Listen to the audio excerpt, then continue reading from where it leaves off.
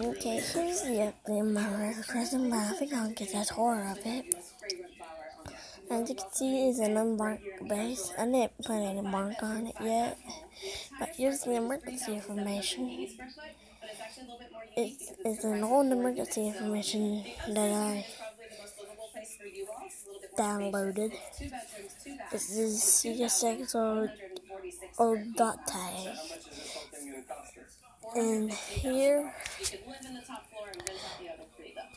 the dot number it is 154267S, and the mod pass is BD115.01.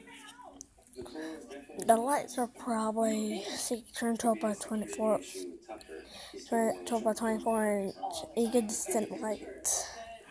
Over here is where the update goes. I updated this the crossbuck because um I was bored, so I deleted the Japanese one and turned it to a Korean. Here is the e-bell, is general signals type two. And over here's the relay case.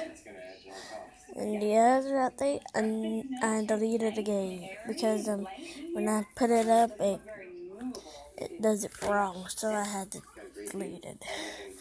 But the power's on. Not off, it's on.